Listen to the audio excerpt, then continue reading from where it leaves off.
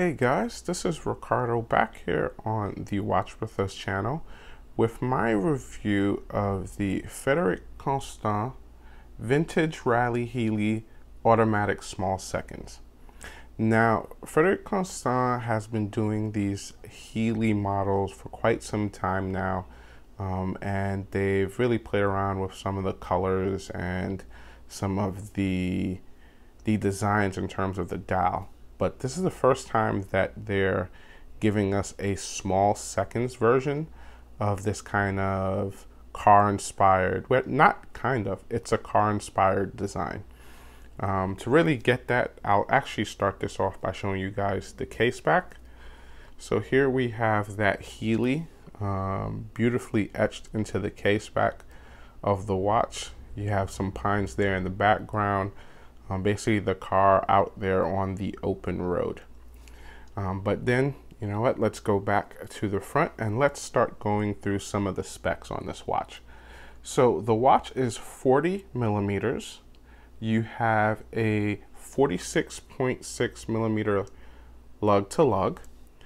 You have a 20 millimeter lug width right here where the strap meets the case.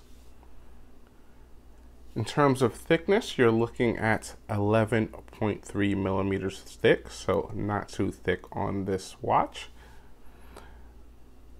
Now, going here to the strap, you have a nice rally, gray rally strap for this gray version of the watch. And the strap actually starts off at 20 millimeters here at the case, and it tapers down to 18 millimeters here at the buckle. Buckle here has the Frederique Constant logo, all polished. Same thing with the case. The case is basically all polished, except for some of that brushed or almost bead blasted and mix of polish here on the etching. In terms of water resistance, we're looking at 50 meters of water resistance on this watch. It actually doesn't come with a screw down crown.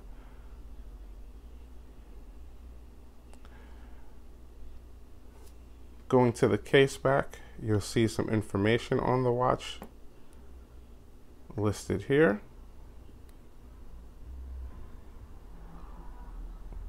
Also want to note that this is part of a limited edition. So right here we have number 19 of 888. Going back to the front, in terms of the dial layout, it's a common theme. You have, especially with the Healeys, you have this 12-6, big 12, big 6. The small seconds here is incorporated at 9 o'clock with a beautiful red tipped well, not red tipped, a beautiful red running seconds hand. At 3 o'clock, you have a small date window. You have Frederique Constant right below the 12 and Healey right above the 6. You'll see that there's some depth here to the dial. You'll see that the outer ring is actually a level above the dial so the ring that has the 60, the 55, and the 50 on it is slightly above the dial, creates a nice, nice bit of depth. In terms of the indices, you'll see that the indices have a strip of lume running down the center with high polish on either end.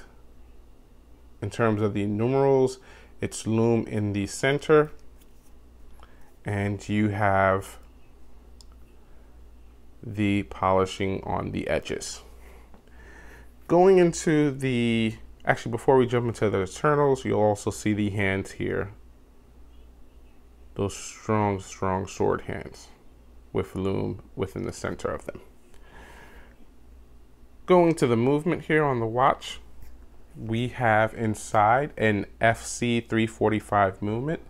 It's a base caliber Sellita 200 Comes with 38 hours of power reserve and 31 jewels. As I said, the crown is not screwed down, so here in this all the way in position is winding. pull it out one click and you're able, actually not knowing, let me pull it out the hold way.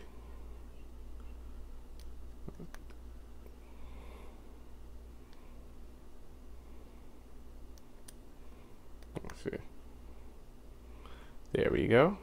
Here we get to set the time. I didn't quite know if I was at right after 12 a.m. so I didn't want to jump into date. So date is actually your first position here and you're able to set the date as you see right there. As you can see, it is a kind of small crown, so it doesn't have that little normal lip that you would see here that makes it easier to to grip it and that's actually one of the things that I'm going to discuss as I jump into some of the negatives on this watch first and then I'll jump into some of the positives. As I just showed you, one of the negatives is the crown. I say it's small, but it's not so much that the crown is small, it's more that it's harder to manipulate. Um, because a lot of times on these crowns, you'll see right here, there'll be a little divot here on the back end of the case, which allows you to, to pop your nail in and pull it out. But here it's, it's, it's a little bit difficult. Um, another negative for me is just all the polishing on the case. Um, over a period of time, I know a lot of that is going to show scratches um, because this is a good enough watch to wear on a, a daily basis. It has a beautiful dial, but knowing that that case, that high polished case, is going to get so scratched, yeah, I, I kind of wish they went debrushed or just took it easy on the polishing and just left it to the some of the trim. Um, I love the application of polishing on the dial, but like I said, the case is just too much. Wish also, as I mentioned, this may be a daily driver for you. I wish it had just a little bit more water resistance.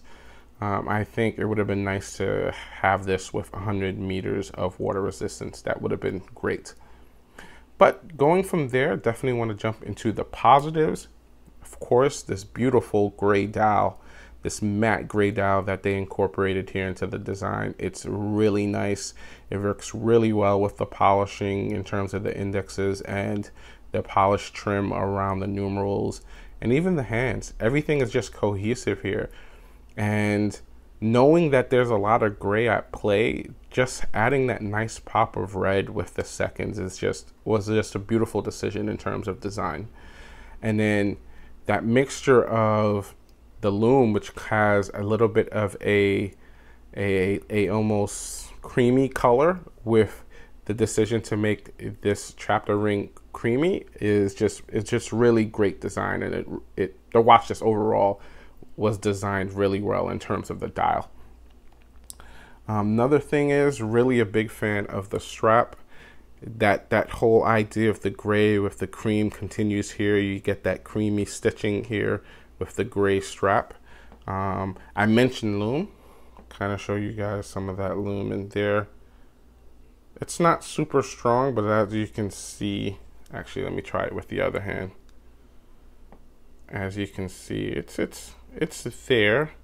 Um, wish it was a bit stronger. Let me see if I have my lume on me. There, there we go. Let me power it up a little bit. And we'll take a look now. And there's how that lume is kind of broken down. Not super strong, but it's it's nice on the watch. What I then want to do now is toss this on my seven and a half inch wrist. So you see how that 40 millimeter case, which is a nice reasonable size, how that wears on my wrist. Here you go. I'll actually fix that a little bit more so it's centered. There we go. Yeah, it actually wears pretty well. 40 millimeters, I think, is a nice sweet sweet spot for my seven and a half inch wrist. So it wears really well. That small thickness, that less than 12 millimeter thickness, is nice on this. There's a nice curve, as you can see there, with the lugs. Um, just overall, it, it, it wears really, really well. But as I stated, there are some negatives, there are some positives, but I really like. I have to say, I really like the route um, and the some of the decisions that Frederique Constant made on this watch. Um, it gives me some hope for some new models and you know some different things that they want to do. I love this case. I just wish it was brushed. I'd love to see this case used more often in more of a brush pattern. Um, also, you know, just a little bit more in terms of design when it comes to the crown.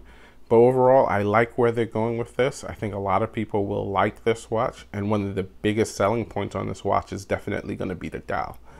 Um, but overall, guys, that's my opinion on this watch.